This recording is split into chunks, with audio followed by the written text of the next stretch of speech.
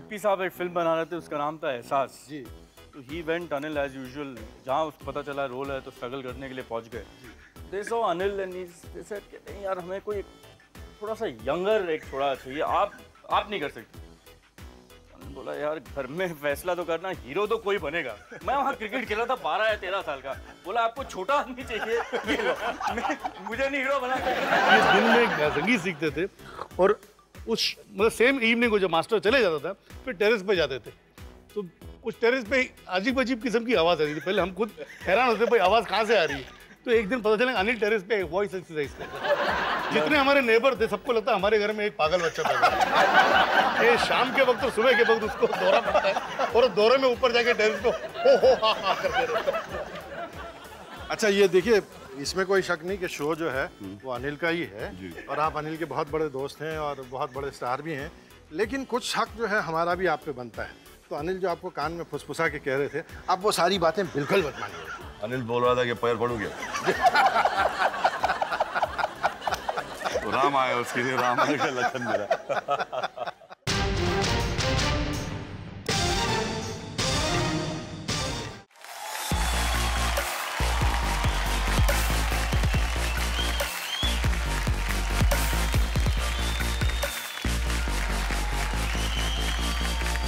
जहाँ तक मैं जानता हूँ कि आप और अनिल में जो है सिर्फ़ एक साल डेढ़ साल का फ़र्क है। नहीं ज़्यादा है।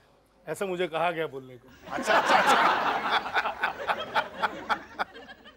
अच्छा तो बहुत ज़्यादा फ़र्क है लेकिन जो है आप लोग कॉलेज में साथ साथ थे और जहाँ तक मेरी जानकारी है कि बहुत सी बचपन की शरारतें भी साथ साथ रहीं। आप हो गए बेसिकली प्रोड्यूसर अनिल हैं जो है बहुत ज़्यादा एक्टिंग पे तवज्जो देते हैं। एक्चुअली एक्टर बनना चाहते थे।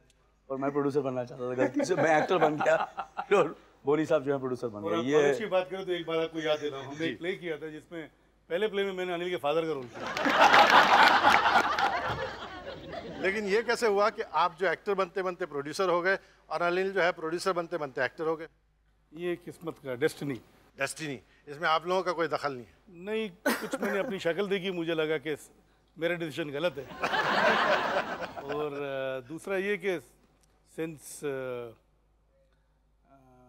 dad had his own company हम दोनों ने ये तय किया कि पहले प्रोडक्शन की तरफ़ तवज्जो दिया जाए एक्टिंग बाद में देखा जाएगा। पर प्रोडक्शन करते करते बापू की नज़र अनिल पे पड़ गई और मेरे को उसने इग्नोर कर दिया इसलिए अनिल निकल पड़े और मैं रह गया प्रोडक्शन संभालते संभालते। तो अनिल आप क्या क्या करते थे उस वक्त? My uh, most important job was to pick up the actors from the airport Bangalore airport and get them to uh, क्या बोलते हैं? मेलकोटे मेन काम था is not saying that was to have अंडास for Kanhaiya Lal because Melkote में सब vegetarian होते हैं। तो अनिल की ड्यूटी थी कि चार अंडे वो छुपा के रखता था। कि जब कन्हैया लाल सुबह नाश्ता मांगे तो उसके लिए अंडे Anil. And to back up Mithun Chakraborty. Mithun Chakraborty तो उसको उसको उठाना बड़ा मुश्किल काम था। कन्हैया लाल और मिठुन चक्रवर्ती को उठाना was the most difficult thing तो एक को उठाना दूसरे को अंडे खिलाना। अंडे खिलाना और शेफ कभी कभी उनकी शेफ भी करना कन्हैया लाल जी की। जब ये मैत्री पार्क में आप लोग शिफ्ट हो गए तब भी अ, हमने सुना है कि तिलक नगर को अनिल बहुत याद किया करते थे। तिलक नगर की याद आज तक नहीं गई मैं जब भी जाता था तो अकेला बैठ के मुझे सब दोस्तों की याद आती थी यू नो एंड मुझे वहाँ मैंने कभी ज़िंदगी में कभी जूते नहीं पहने थे। नंगे पैर ही घूमता था। यहाँ फिर जब मैत्री पार्क में आया और साइन में आया तो ज़बरदस्ती मम्मी बोलती थी जूते पहन। वहाँ जूते पहनने का रिवाज नहीं नहीं होता वहाँ पे ज़बरदस्ती जब मम्मी जूते पहना भी देती थी तो हम लोग जूते घुमा के आ जाते थे। क्योंकि हम फुटबॉल खेलते थे या क्रिकेट खेलते थे। जो खेलते थे तो आ, या तो हमको स्टम्प्स के लिए अपनी चप्पलें या जूते रखने पड़ते थे, या गोल पोस्ट के लिए हमको जूते अपने रखने पड़ते थे। और क्योंकि हम ही लोग जूते में तो हमारे जूते रखते अनिल को शुरू ही से, शुरू ही से, बिल्कुल शुरू से। शिद्दत से शौक था कि मैं चाहे दुनिया इधर की उधर हो जाए और ज़मीन और आसमान जो है मुझे मिला देने हो। मैं एक्टर तो बन के रहूँगा। संजय को एक वाक़ याद है कि जब वो गए थे सिप्पी साहब के यहाँ, एक रोल के मामले ये सिप्पी साहब एक फ़िल्म बना रहे थे उसका नाम था एहसास। जी। तो he went Anil as usual जहाँ उसको पता चला रोल है तो स्ट्रगल करने के लिए पहुँच गए। They saw Anil and they said कि नहीं यार हमें कोई एक थोड़ा सा यंगर एक थोड़ा चाहिए आप आप नहीं कर सकते। तो अनिल बोला यार घर में फैसला तो करना हीरो तो कोई बनेगा। मैं वहाँ क्रिकेट खेला था बारह या तेरह साल का। बोला आपको छोटा आदमी चाहिए मुझे नहीं हीरो बना ये ये प्रोड्यूसर वाले घर में एक तो हीरो बनेगा बनेगा। तो माशाल्लाह हो गए आपके हीरो वाले दिन की एक तस्वीर हम बताते हैं। निखिल साहब का भी उस तस्वीर में कुछ दखल है। अरे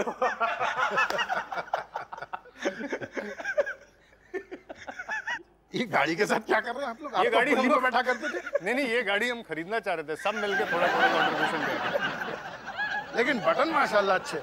लोग खामखाई सलमान खान को बदनाम करते हैं। ये स्टाइल तो अनिल ने शुरू किया था भाई। भाई ये शर्ट बाहर निकालने का ये सब शुरू तो मैं हमने ही किया था। एक मुझे किस्सा याद है। जी। अनिल को फ़िल्मों में काम करने का बचपन से ही शौक था। एक फ़िल्म बन रही थी तू पायल में गीत Nikhil's father was associated with that particular project जी। वो खोज में थे कि शशि कपूर के बचपन का रोल के लिए एक नया मतलब कोई नौजवान लड़का चाहिए। अनिल को मौका मिला लपक पड़ा। बिना घर पे पता है चल चल गया office. And he was approve by the director selected ये वो। शूटिंग पे गए शूटिंग करके आए। नेक्स्ट डे रेडी हुए। स्कूल में चलो। स्कूल में सब लोग अनिल की तरफ़ देख रहे हैं। क्यों देख रहे थे? क्योंकि इसने अपना मेकअप उतारा ही नहीं तो बहुत लाल लाल थी लाल लाल बहुत लग रहा बोला क्या आजकल मैं एक्टिंग कर रहा हूँ? एक्टर बन चुका हूँ। पिक्चर को अनिल की नज़र लग गई। नज़र लगी। फ़िल्म रिलीज़ ही नहीं आज। आ- आपकी और अनिल की मुलाकात वो पहली बार हुई थी वहाँ जब वो उस प्ले के सिलसिले में आए थे? हाँ वो जेवेस कॉलेज में। जी। मज़हर खान ने मुझे पकड़ा और कहने लगा कि एक ऐसे आर्टिस्ट के पास ले जाऊँगा जो कि तुम्हारे अगर बोलने पे हाँ बोले तो बड़ी बात है। मुझे इनको कैंटीन में मुलाकात करवाई। और ये बिल्कुल जब मैंने कहा, यार, तुम्हें करना है। नहीं, मैं मैं मैं मैं एक्टिंग नहीं करूँगा, मैं, मेरे सर मैं बोला, यार, देखो अच्छा रोल है, कुछ कर नहीं मेरे को एक्टिंग आने की नहीं ज़रूरत है, और मैं करता नहीं मैं तो उसका मुँह देखते रह मैंने कहा, यार, कुछ समझ में नहीं आ रहा था। लेकिन मेरी नज़रें उस वक्त ऐसी थी कि जो रोल जो किया जाने वाला था, उसका एक नया रूप नज़र आया। उस प्ले का नाम ही था जानवरों की बस्ती। और उसमें दो ही आर्टिस्ट थे। और वो इस तरह से कि ये दोनों ने मुकाबला किया। वो म- मजहर खान तो पोज लेकर बड़े सीरियसली बात करता था कि ये ऐसा होगा ज़िंदगी में क्या करना है। और ये बिल्कुल बड़े अंदाज से हाँ ऐसा है ज़िंदगी इसको बोलती है मेरे को मालूम नहीं। और मैंने उस वक्त उसी वक्त मैंने मजहर को कह दिया था भैया इसको संभाल के रखना। और जब कॉम्पिटिशन हुआ मुझे खुशी इस बात की कि जो मैंने कहा था वो सच निकला और इन्हें बेस्ट एक्टर का अवार्ड मिला था।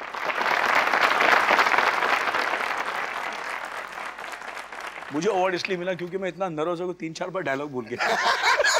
लेकिन उस अच्छा वो डायलॉग भूल गया। अच्छा मेरा कैरेक्टर ऐसा था इस प्ले में कि he is a very nervous kind of person and he can not speak in one flow तो एक्चुअली मैं एक्टिंग नहीं कर रहा था मैं एक्चुअली नर्वस था। और मुझे अवार्ड मिल गया बेस्ट एक्टर लेकिन वो उसमें seriousness में- he deserve the mother deserve the award more than me लेकिन अनिल अनिल सच्ची बात तो ये थी कि ये घबरा जाते थे डायलॉग भूल जाते थे लेकिन जो जश्चर होते थे ना वो बड़े जालिम होते थे। अपनी कमज़ोरी को छुपाने के लिए इनका जो हंसने का अंदाज होता ना और मैं एज एन डायरेक्टर अरे क्या कर रहे हैं? इधर अब वो क्या था वो सीरियस करता था और लोग इनकी तरफ़ देखते थे कि रिएक्शन क्या मिलेगा तो बेस्ट एक्टर का अवार्ड लेकर आ गए अनिल उस वो जो आपकी शुरुआत के दिन थी जब आप पहले पहल कैमरे के सामने आए थे तो आपका क्या एक्सपीरियंस रहा? जब काम करना शुरू किया तो मुझे ऐसा लगा रोल वोल तो है नहीं इस फ़िल्म में कुछ। बट एंड जब और मैं डायरेक्टर के पीछे क्लाइमैक्स में मैं क्या करूँगा? तो मुझे क्लाइमैक्स की हमेशा फ़िक्र थी। तो मुझे पता चला क्लाइमैक्स में कुछ रोल काम ही नहीं है। अल्टीमेटली रोल ये है कि हम लोग छः सात बच्चे हैं और छोटा मोटा रोल है और क्लाइमैक्स में कुछ नहीं है। तो मैं क्लाइमैक्स से पहले भाग ही गया पिक्चर सीन छोड़ के भाग गया। अनिल जो हमारे तुम्हारे का क्लाइमैक्स छोड़कर भागे तो भागकर इतनी दूर निकल गए कि बिल्कुल दक्षिण भारत में पहुँच गए। आप उसके बारे में कुछ बताना चाहेंगे? काफ़ी काफ़ी स्टार्स सन्स उस उन ज़माने में लॉन्च हो रहे थे इन अ वेरी बिग वे बड़ी बड़ी फ़िल्में लॉन्च हो रही थी। और मैं ये छोटे छोटे roles as almost like a junior artist film में कर रहा था। तो मैं कहा कि ये अब मैं फंस गया हूँ। उस वक्त बापू साहब ने मुझे नोटिस किया और मुझे तेलुगु फ़िल्म में एक हीरो का रोल ऑफ़र किया। And that became a turning point in my life Telugu film उसमें की फिर मणिरत्नम ने भी वो तेलुगु फ़िल्म देखी और मुझे uh, वो समझा कि मैं कोई तेलुगु एक्टर हूँ। How did you deal with this language problem मुझे पता चला कि जब नसीर साउथ इंडियन में फ़िल्म में काम कर सकता हूँ मैं क्यों नहीं कर सकता हूँ? मेट हिम ये कैसे करते हैं? यू नो इससे उन्होंने एक ही चीज़ कही कि Anil acting doesn't need language you know it doesn't need language तुम उसको इमोट करो परफॉर्म करो and and you'll be able to do it मैं क्या करता था, वो जो साउंड्स होते थे, तेलुगु के और कन्नड़ा के, वो साउंड्स को लाइक बच्चे की तरह, उसको, वो साउंड को ज़बानी याद करता था। मैंने सुना है कि अनिल जो है अपनी छत पर जो है, पिताजी बहुत जोरों से मुस्करा रहे। पिताजी, आइए जरा बताइए। ये दिन में संगीत सीखते थे और उस मतलब सेम इवनिंग को जब मास्टर चले जाता था, फिर टेरेस पे जाते थे। तो कुछ टेरेस पे अजीब अजीब किस्म की आवाज़ आ रही थी। पहले हम खुद हैरान होते, भाई, आवाज़ कहाँ से आ रही है? तो एक दिन पता चला अनिल टेरेस पे वॉइस एक्सरसाइज करता जितने हमारे नेबर थे, सबको लगता है हमारे घर में एक पागल बच्चा है। ये शाम के वक्त और सुबह के वक्त उसको दौरा पड़ता है और दौरे में ऊपर जाके टेरेस को हो हो, हा हा करते रहता जब मेरी इनसे मुलाकात हुई तो एक नहायत घबराए हुए से अभी भी दुबले हैं, पहले बहुत दुबले थे और कुछ नर्वस थे अनश्योर से तो मैंने सोचा ये लड़का जो इतना नर्वस और अनश्योर है, ये क्या एक्टर बनेगा? तो कई दोस्तों ने पूछा, कैसा लगता है? तो मैंने कहा, इसे तो कभी मत लेना। ये बिल्कुल नहीं चलने वाला। तो एक फ़िल्म बन रही थी, एम एस सत्यू, बना रहे थे, कहाँ कहाँ से गुजर गया। तो उसमें कुछ दो गाने थे तो हमारे दोस्त थे तो उन्होंने कहा, भाई गाने हमारे लिख दो। तो मैं लिख रहा था तो मैंने पूछा, इसमें किसे ले रहे हो? एक लड़का है अनिल कपूर। मैं तो पागल हो गए तुम? इस आदमी को, वो तो कभी नहीं चलेगा। मगर उन्होंने मेरी सुनी नहीं। फिर भी ले लिया, बहुत मना करने के बाद भी। तो इत्तेफाक से एक दिन मैंने दो तीन रील देखी उसकी। तो मैं तो हैरान हो गया। ये लड़का जो पर्सनली इतना मॉडेस्ट और इतना शर्मीला सा और इतना घबराया हुआ सा लगता है मैंने ऑन द स्क्रीन वो क्या काम कर रहा है? जैसा आपको अनिल के काम में एक या दो बहुत खूबी की बातें कौन सी लगती हैं? देखिए एक तो बहुत अच्छी बात यह है जो बड़ी रेयर है होता क्या है कि सक्सेस के साथ we tend to become our own caricatures और ये बड़े अच्छे अच्छे एक्टर्स के साथ होता है कि एक्टर अपनी नकल करना शुरू करता है। अनिल के साथ ये नहीं हुआ। मुझे हमेशा लगता है कि he has not lost his humility तो वो जो रोल है उसकी इज़्ज़त करके he tries to get into that role and respect that role कि भाई ये रोल ऐसे होगा। ये नहीं कि अनिल कपूर तो ऐसे ही करता है। सुभाष जी ने फ़िल्म बनाई थी हीरो और उसके बाद उन्होंने मुझे लिया मेरी जंग के लिए। तो it he was one of the biggest film makers those days he is, a, he still is a very big filmmaker and he signing me for the film was a very big thing for me and I felt okay now is the time that I'll be able to buy and can afford to look after my family and my you know uh, the children if I if I get married and all so मैंने कहा कि अभी मौका आ गया अभी शादी कर लेते हैं अनिल ये बताइए आप अ, सुनीता जी से पहले कब मिले फ़ोन पे सबसे पहले तो फ़ोन पे मुलाकात हुई थी जी फ़ोन पे बात करते थे मगर मुझे मालूम नहीं था कि कौन है ये I met her at Reema's house and Reema and Sunita वो वेरी गुड फ्रेंड्स वहाँ पार्टी में मेरी पहली मुलाकात सुनीता से हुई रीमा के घर पे। तो उन्होंने क्या कहा कि मेरी जंग ये तो बहुत ही प्रोफेटिक टाइटल है। हाँ हाँ मैं फ़ौरन आपसे शादी कर नहीं वो तो बेचारी वेट कर रही थी कि मैं कब बोलूँगा कि मैं शादी करना चाहता हूँ। मेरी जंग हो। शी स्टिल नॉट इंटरेस्टेड कि मैं सब उसके दोस्त लोग यही बोलते कि उसको हमेशा ये कहते हैं कि तू हीरो की बीवी है किसकी बीवी है? क्योंकि उसको आज तक मालूम नहीं पड़ता आज तक मालूम नहीं है कि मैं कितने पैसे लेता हूँ। उसको आज तक ये नहीं मालूम मैं कौन सी फ़िल्म कर रहा हूँ। कौन मेरे को स्टार्स हैं कौन कुछ nothing she doesn't know anything she knows me my family, my children, and my close. Otherwise, she is just interested in that, nothing else but that. अच्छा ये देखिए इसमें कोई शक नहीं कि शो जो है वो अनिल का ही है। और आप अनिल के बहुत बड़े दोस्त हैं और बहुत बड़े स्टार भी हैं। लेकिन कुछ हक जो है हमारा भी आप पे बनता है। तो अनिल जो आपको कान में फुसफुसा के कह रहे थे आप वो सारी बातें बिल्कुल मत मानिए अनिल बोल रहा था कि पैर पड़ू गया तो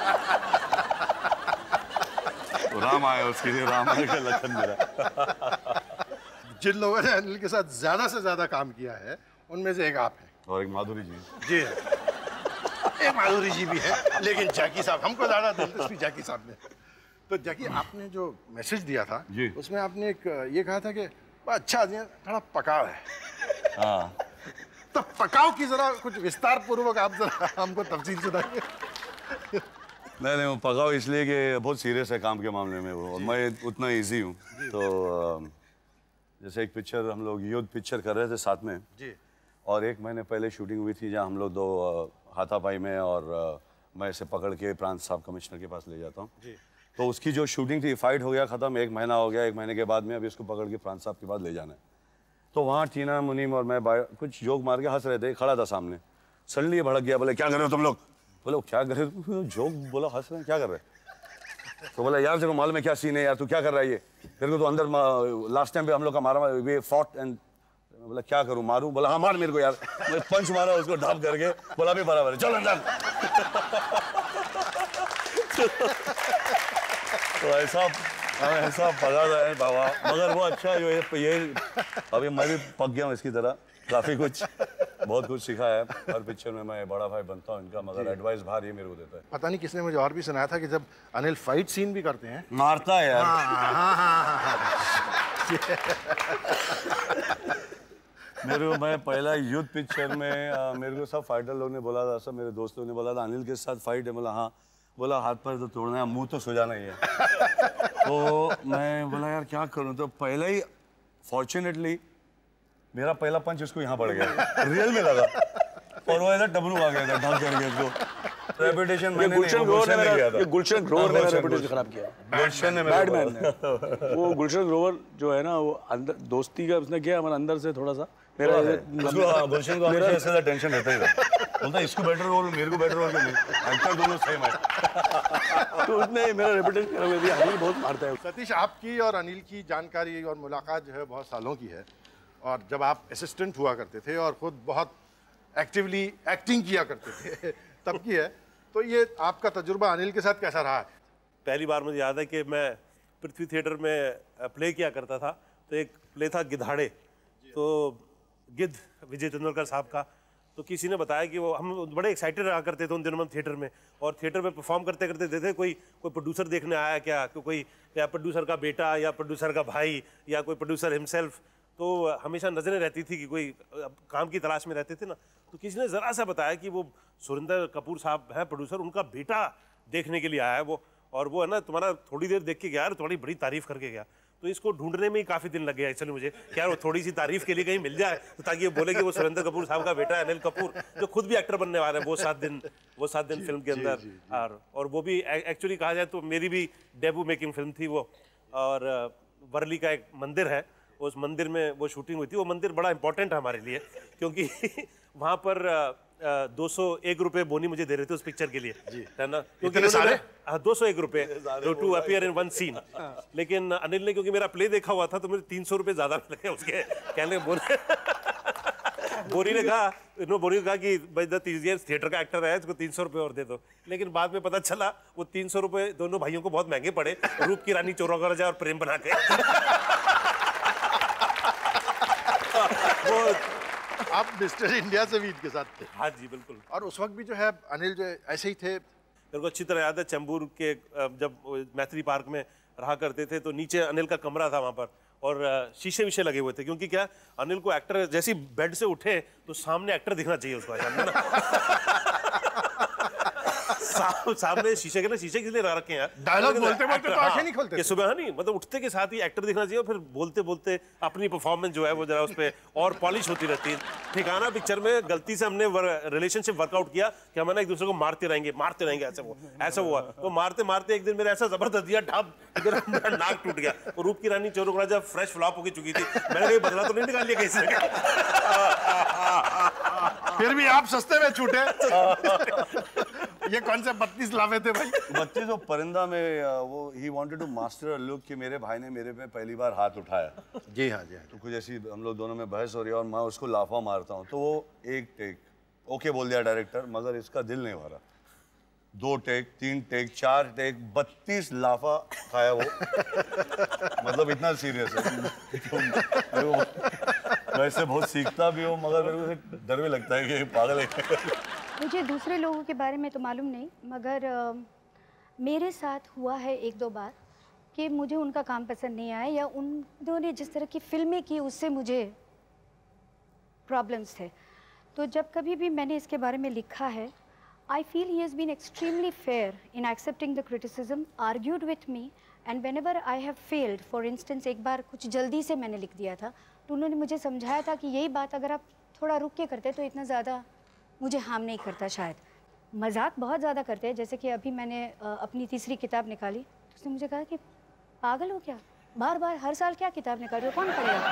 अब मैंने चाहा कि मैं उसे कहूँ कि तुम हर साल पिक्चर निकाल रहे हो और उसे तो हम पूरी दुनिया देख रहे कौन देखेगा? मगर मैंने कहा नहीं।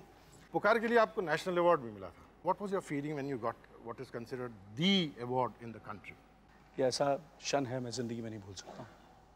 This is the moment I waited for and I am being very honest it is one of the greatest moments of my life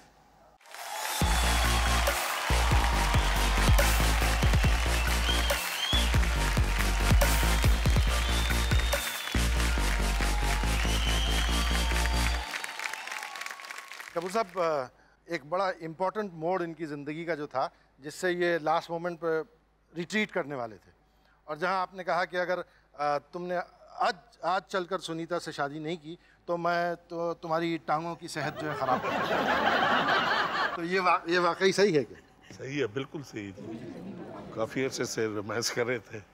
तो अच्छा नहीं लगा मुझे मुझे अच्छा नहीं लगा कि लास्ट मोमेंट में उसको डिच कर दिया। नहीं लेकिन इनका इरादा मेरा ख्याल है डिच करने का नहीं था। इनका इरादा था कि अगर 10-15 साल शादी टल जाए मामूली सी बात है। तो ब- मैंने बुढ़ापे में शादी करना but how is he as a brother Well, uh, he's a very good brother. And of course, all my brothers are very nice. अब मैं क्या बोला? आप मेरे से ज़्यादा मत पूछिए कहीं मैं रोना आना शुरू कर दूँ।